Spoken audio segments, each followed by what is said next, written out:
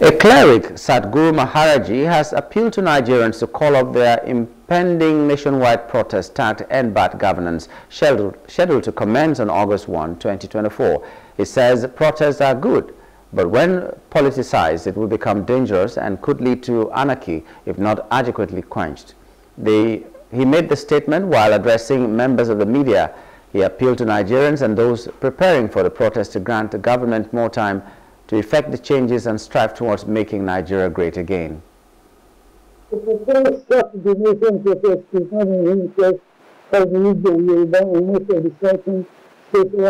because of its political, economic, and social implications.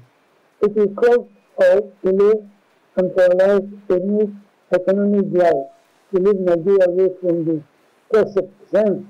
Stop it or protest one day with your request for attention delivered to the State House staff. No violence.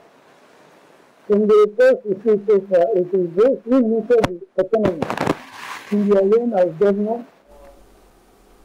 He also urged pen pushers to be objective in their reports and challenged politicians to be accountable for their civic responsibilities.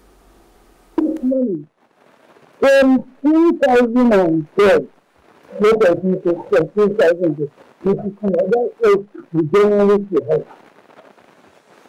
And we should be let us name there from 2010 to 2024.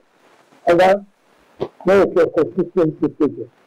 Because we hope every people that do their young people and we need to help them.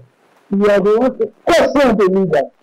Hello. Hope you enjoyed the news. Please do subscribe to our YouTube channel and don't forget to hit the notification button so you get notified about fresh news updates.